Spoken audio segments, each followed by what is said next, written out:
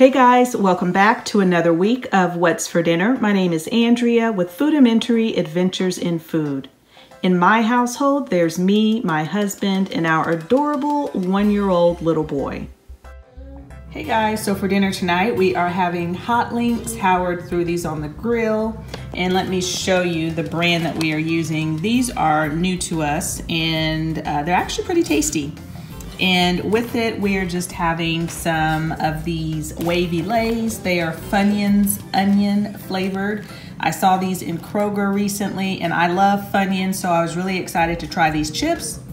I will say they don't exactly taste like Funyuns. They're not strong like Funyuns. They do taste like onion chips, but if you didn't know you were eating Funyun flavored chips, you wouldn't know. So um, but this is Howard's plate. He is just having ketchup on his.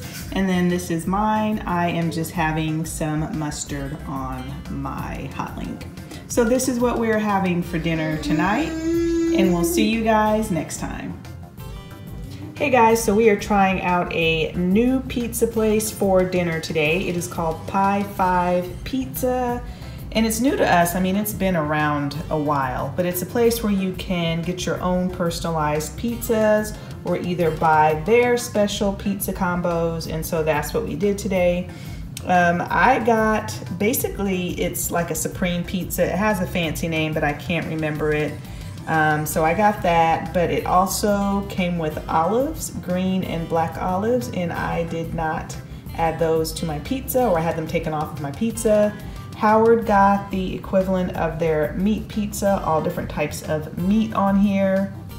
We got some uh, cheesy breadsticks and I'm just now realizing that there is no marinara in here unfortunately so I'm gonna have to get some out of my pantry. And then for dessert we are having nothing bundt cake. I got the lemon and Howard got the carrot cake so this is what we're having for dinner tonight and we'll see you guys next time. Hey guys, so for dinner tonight, we are having crock pot chicken and noodles, a really simple recipe. I did record a video on how I make my crock pot chicken and noodles and that will be out on Thursday. So this is what we are having for dinner tonight and we'll see you guys next time. Hey guys, so for dinner tonight, I am making a copycat um, soup, zuppa toscana from the Olive Garden. I'll make sure to link the recipe in the description box. Harrison is having his dinner right behind me, so you probably hear him yum, yum, yumming it up. But in my pot here, I have already cooked up some Italian sausage with onion and garlic. To that, I'm going to add some water and some potatoes. It's about a pound and a half of potatoes. Some of them I left on the skin, some of them I took off.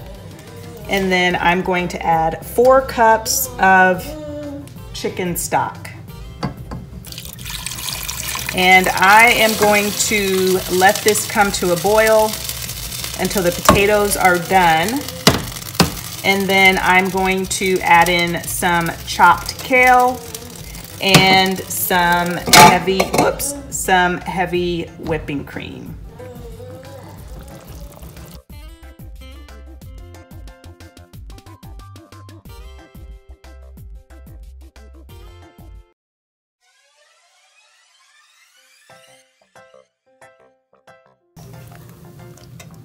Okay, so here is the soup. It is very tasty. The recipe suggested crumbling some cooked bacon over the top, but I decided not to do that.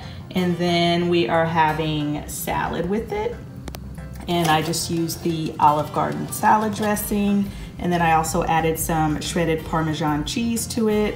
And I decided to keep on going with the Olive Garden theme. So I made a couple of breadsticks in the air fryer. And these are the breadsticks that we really like a lot. I, um, I buy them from Tom Thumb. They're very good. And I actually like them better than Olive Garden breadsticks. So anyway, this is what we are having for dinner tonight. And we'll see you guys next time. All right, so for dinner tonight, our entire meal is from Trader Joe's, and that was not by design, it just happened. So we are finishing off the kale um, from the other day, the one that I used in that um, soup. So we're having that. And then we are also having mandarin orange chicken and chicken pot stickers as well. So here's what it looks like. I just sauteed the kale in um, garlic salt and olive oil. And then I pan fried the pot stickers. There is the orange chicken and then I'm serving it over um, jasmine rice. So this is what we are having for dinner tonight and we'll see you guys next time.